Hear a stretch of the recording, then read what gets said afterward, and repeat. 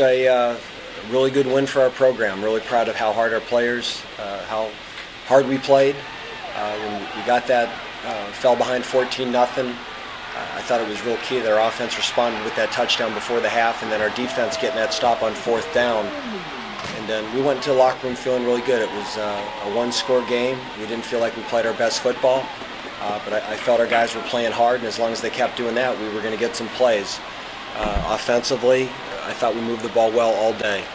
Uh, we just really made too many mistakes. I think the first four drives we crossed midfield, and uh, three of those times we did something, whether it was a hold or an interception or, or uh, an early snap. And uh, you know, I, I, thought if we could just eliminate some mistakes, that there were some plays out there to be made. And uh, defensively, just really proud of our guys. They played hard. They played with a lot of resiliency.